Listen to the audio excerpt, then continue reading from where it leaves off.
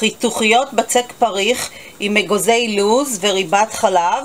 בקלי קלות ויש לכם מאפה מאוד טעים וקל להכנה. גם אתם יכולים להכין בקלות ובמהירות. נסו ותהנו. לקחתי 130 גרם אגוזי לוז בכוס כזאת עם גבעה, זה יצא 130 גרם בערך. ככה קליתי אותם על חום נמוך של 150 מעלות לא לשרוף אותם וכרגע אני מקלפת אותם. קיררתי ואני מקלפת אפשר לשים אה, בין מגבת ולשפשף את האגוזים וככה מתקלפים. מי שרוצה בזהירות לא לשרוף כי זה מאוד עדין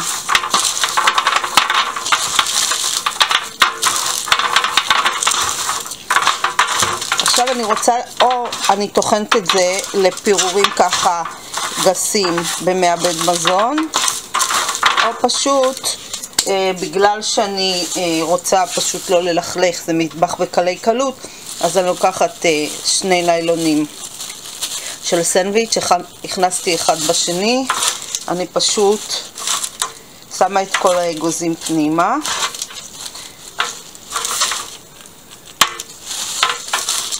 לא נורא אם יש קצת קליפות, העיקר שלא יהיו לכם שרופים. מה שאפוי מדי לא צריך. זה לא מקולף. אז אני ככה אשים את הכל ואני אמשיך. אז כל האגוזים ככה בשקית, אני שמה אותם על קרש, ובעזרת מערוך אני עוברת עליהם אפשר עם פטיש של שניצלים גם לחברות.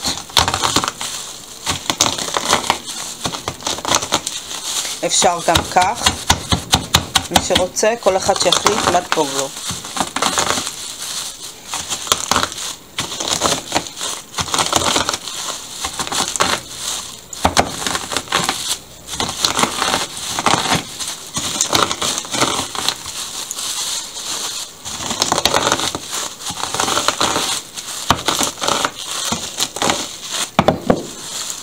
אני צריכה לקבל ככה פירורים גסים. מי שרוצה טיפה יותר דק אפשר לעבור עוד עם המערוך. אז זה בינתיים האגוזים שלנו ואני אמשיך. אז כך, תחילה לבצק, איך אני מכינה. אני לוקחת שני חמאה, זה 100 גרם. אתם יכולים לחתוך לקוביות. ביחד 200 גרם חמאה. יהיה לכם יותר קל לערבב.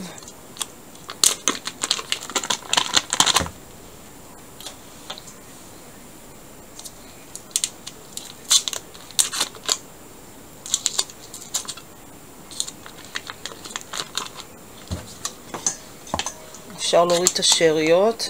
החמאה בטמפרטורת החדר, ככה שיהיה לי יותר קל לערבב אותה.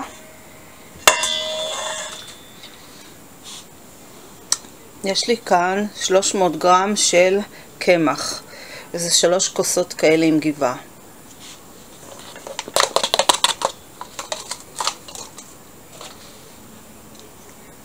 שישים גרם סוכר, בערך חצי כוס. ביצה אחת. אני מוסיפה קורט של מלח. קורט, משהו כמו שמינית כפית. אני מוסיפה גם אבקת אפייה, משהו כמו כפית.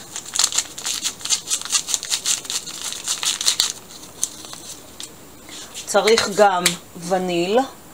אם יש לכם אה, וניל במשחה זה מעולה, אם אין אז אה, ככה כף או מכסה. ואני מוסיפה גם אה, וודקה או ליקר או רום, מה שיש לכם. משהו רום, יש לי כאן אה, משהו כמו כף בערך. זה נותן טעם טוב, אבל למי שאין לא חייב. והאגוזים שלנו. אני רוצה להשאיר לי בצד משהו כמו שתי כפות. ככה אני לא אשים את הכל. בערך איזה שתי כפות של אגוזים, אני משאירה לי. ולא לשכוח, גרדת לימון. נותן ארומה נהדרת לכל המאפה. נוריד הכל.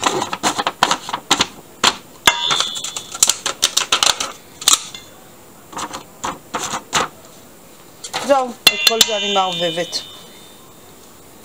עדיף ידנית.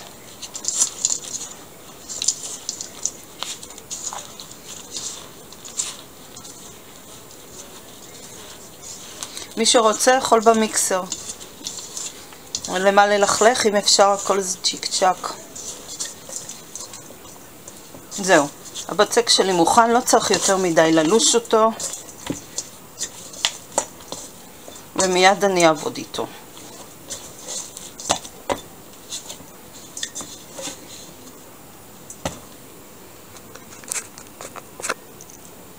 עכשיו לקחתי שתי תבניות, אני צריכה שלושת רבעי בצק לשים בתבנית אחת, רבע בצק בתבנית השנייה, זה משהו כמו 40 על 25, אפילו 30 סנטימטר. אז אני לוקחת את הבצק שלי, שלושת רבעי לכאן ורבע לצד השני. עכשיו, או שמרדדים את זה על שולחן אה, בין אה, או ניילון נצמד, או שפשוט ככה משטחים את הבצק, מה שנוח לכם. אז אתם יכולים או עם הארוך כמובן, או לשטח ביד, טיפה אה, יותר עבודה, אבל כמעט בלי ללכלך כלים. אז אפשר טיפה להרטיב את היד. והעבודה תלך הרבה יותר קלה. אז ככה, לשטח היטב, שיהיה הכל אה, בעובי אחיד. וגם אנחנו את הבצק הזה נשטח גם בערך לעובי של הבצק הזה. סיימתי לשטח את הבצקים, זה הרבע בצק, זה הכמות של השלושת רבעי, כך בתבנית, הכל בשכבה אחידה.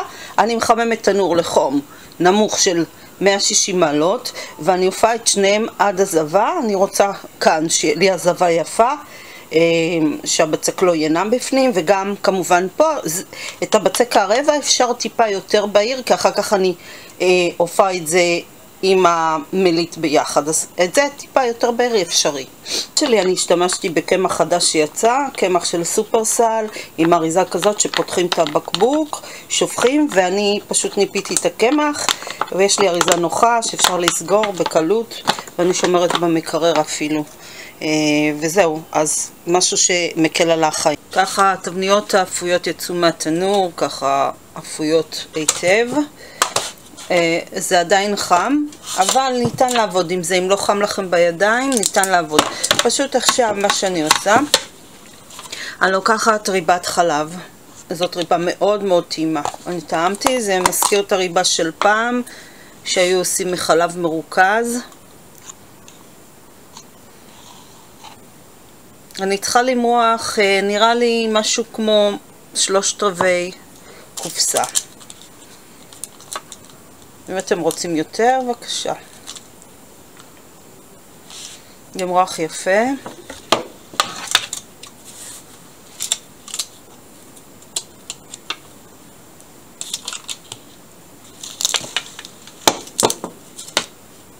שיהיה באופן אחיד.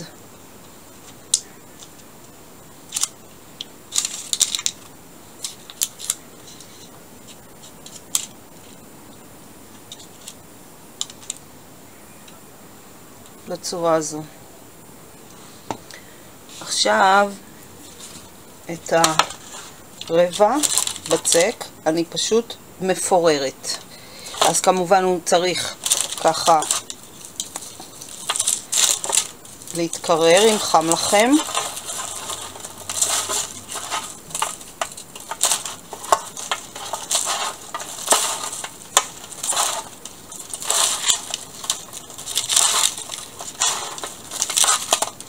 אז ככה לפורר לחתיכות, ככה בינוניות.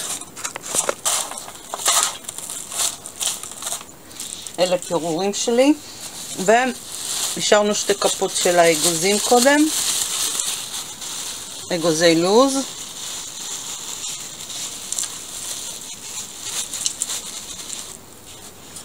אני מערבבת. אם יש לכם חתיכות צרופות קצת מהאגוזים, תוציאו. לא צריך אותם. לא ייתן טעם מריר.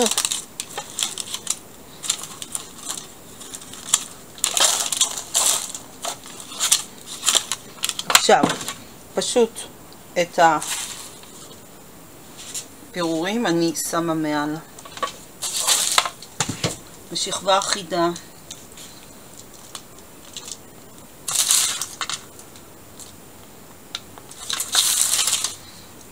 אני בינתיים מחממת תנור על 160, 170 מעלות ואני אתן לזה אפייה קצרה, משהו כמו 5 דקות.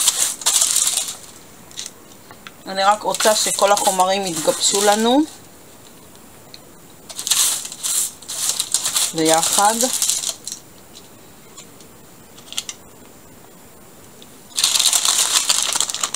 אז זהו. אז זה עכשיו ייכנס לאפייה, ויהיה לנו טעים וכיפי. המאפה שלי משהו לאחר כחמש, שש, שבע דקות, הכל ככה ביבע יפה וככה אה, יתערבב אחד עם השני. אז אני מחכה שזה יתקרר, ואז אני יכולה לחתוך לקוביות. חיתוכיות בצק פריך עם אגוזי לוז וריבת חלב בקלי קלות ויש לכם מאפה מאוד טעים וקל להכנה גם אתם יכולים להכין בקלות ובמהירות. נסו ותהנו.